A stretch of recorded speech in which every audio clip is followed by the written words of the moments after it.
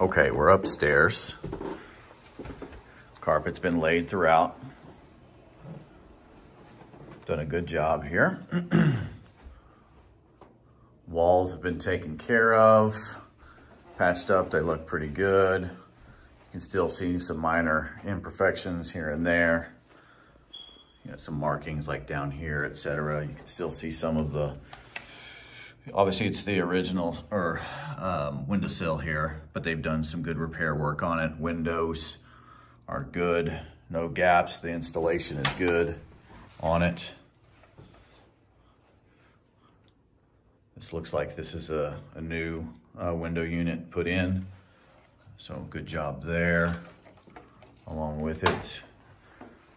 Still feels pretty um, thermal wise, like it was put in well, so that's good. Back bedroom here. There's no window unit installed in it, but you can see, again, they've done some repair work on the windowsill and the windows are new. So nice job here.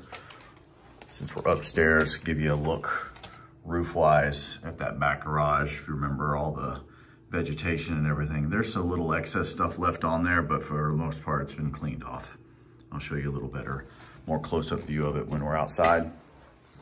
We've got ceiling fan in here. Closet's done up nice, all new handles and doors. Nice ceiling fan in there as well. Bathroom's been redone with new fixtures.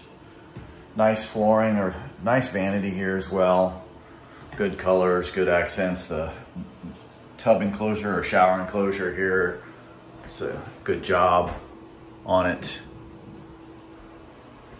Obviously it's a solid piece or two pieces with a seam right there and everything, but still looks nice, certainly for this grade parental.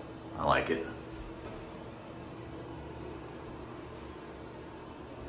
Paint is a decent job here for sure.